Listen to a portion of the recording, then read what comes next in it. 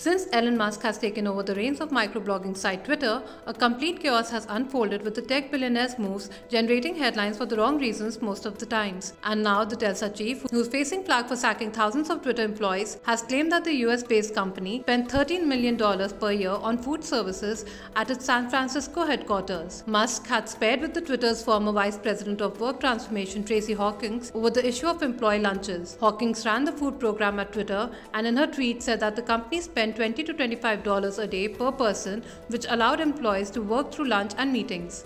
Hawkins said that Musk claimed that almost no one came to the office and that the estimated cost per lunch served in the past 12 months was over $400 were a lie. The controversy erupted after the New York Times reported that the SpaceX chief had revoked free lunches from Twitter employees.